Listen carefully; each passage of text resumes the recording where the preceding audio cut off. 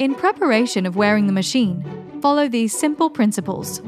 Rotate the dome lid to suit left or right handed vacuuming. Loosen the length of the shoulder straps as required. Lift the backpack by one shoulder strap and slide your free arm into the other strap.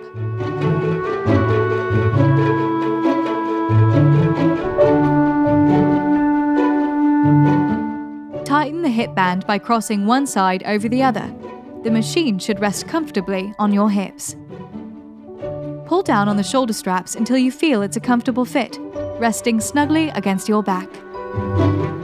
Adjust the position of the chest strap to suit and close to secure.